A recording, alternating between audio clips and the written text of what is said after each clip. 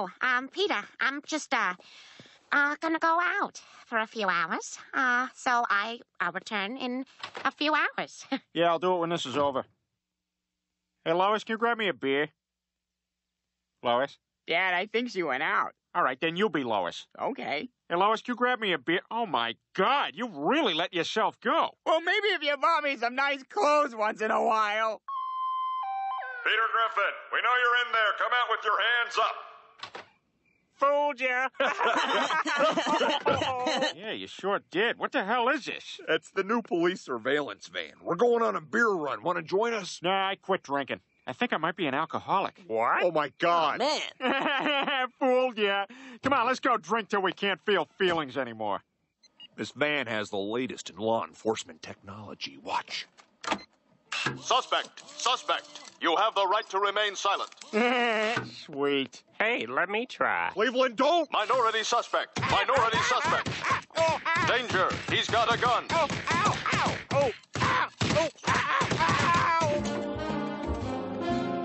hey Joe, the van's gone. No, no, it's got a cloaking device that disguises it as two homeless guys fighting over a wedge of cheese.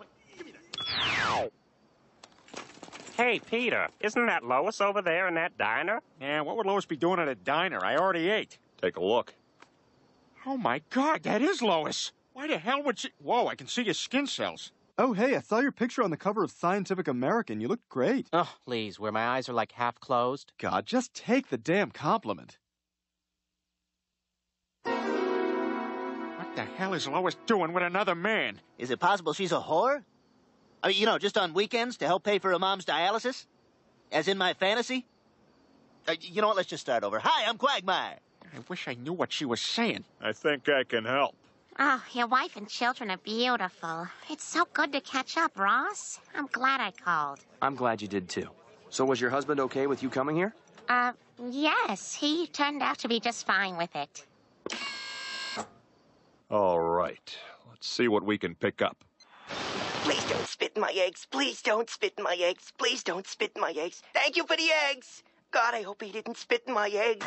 Hey, Doug, I just spit in that guy's eggs. Our armies are ready. Soon it will be time to leave the sewers and strike back at the humans in the overworld.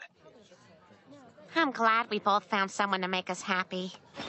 I really enjoy being with you, Ross. I'm having a great time. Oh, my God, that's who that is. Ross Fishman, Lois's old boyfriend. I think we're losing him. Wait, I gotta hear more. Peter, the power's not supposed to go that high. Damn, this itches. I wonder who gave it to me. Probably that skank who needed a ride to the gas station. Last time I do somebody a favor. Oh, God, they must have heard me. Oh, God, I can hear me.